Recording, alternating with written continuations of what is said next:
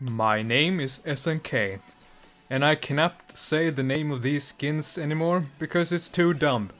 I've uttered it once and I'm never gonna do it again. Too stupid.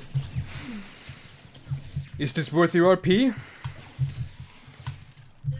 Well, how hard do you wish that you could see Miss Fortune running around as a Star Guardian in her PJs?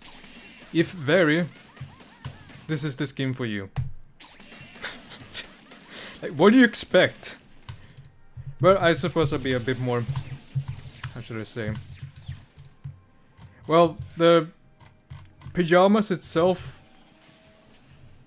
I mean, it's dumb. It looks silly.